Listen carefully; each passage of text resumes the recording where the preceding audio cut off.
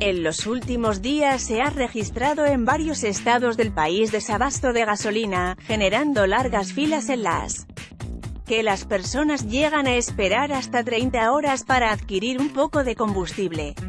Ante esta situación, la jefa de gobierno, Claudia Sheinbaum, descartó que se haya registrado desabasto en la Ciudad de México, sin embargo, en las últimas horas, por medio de las redes sociales, personas han denunciado afectaciones en algunas gasolineras. Le, operativo en Pemex no calculó. Desabasto cientos de automovilistas ya se ven afectados al recorrer varios kilómetros con el fin de encontrar alguna gasolinera para abastecerse.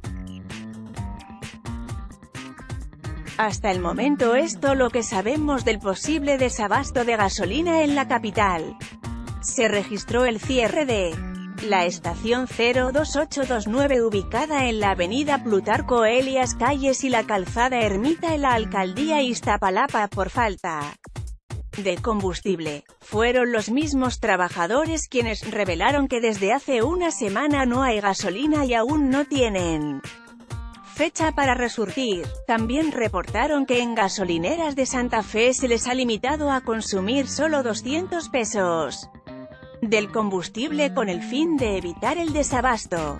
En la despachadora que se localiza en Tamaulipas de la alcaldía, Coajimalpa suspendieron el servicio por falta de combustible, en el lugar colocaron tambos para evitar el paso de los carros.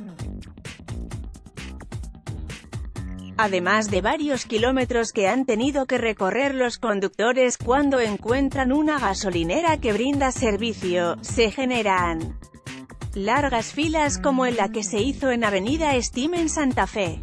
Asimismo en algunas estaciones de servicio de la zona Revolución y Mixcoac solo han vendido, desde ayer, 20 litros por vehículo. La estación de Pemex ubicada en la esquina de Baja California y Nuevo León, en la colonia Hipódromo Condesa, se encuentra cerrada desde esta mañana.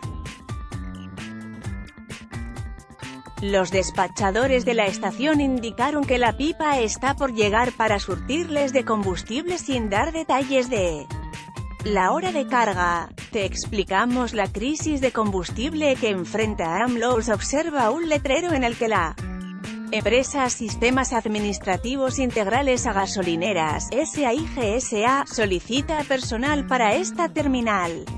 En la gasolinera de Eje 3 y Calzada, la Virgen, aseguran que desde el día de ayer no hay abasto del combustible.